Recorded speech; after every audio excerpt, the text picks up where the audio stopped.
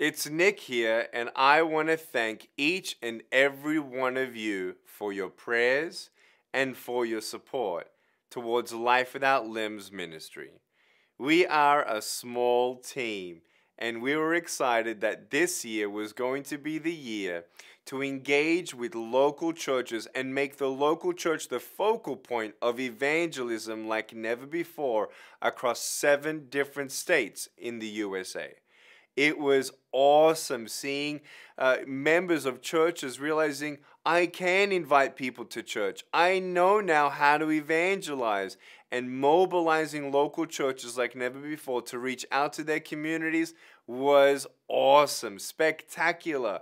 We have seen in 2016 14,000 souls come to Jesus Christ, most of them in a church building in America. How awesome is that? Where we could then follow up with them, plug them into a Bible study, and see them grow in their walk with Jesus.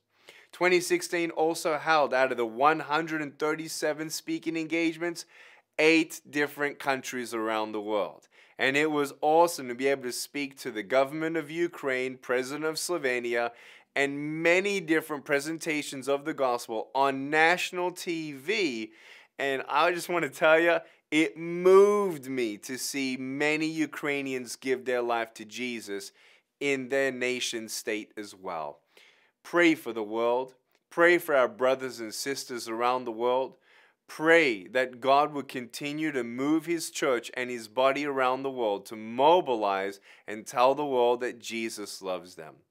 Life Without Limbs is so excited like never before for the next year's plans of 12 countries at least and waves of evangelism through churches in America and their communities like never before. And I just want to say thank you so much for your love, prayers, and support.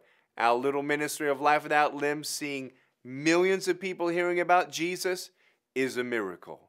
And your support to us is a miracle in itself.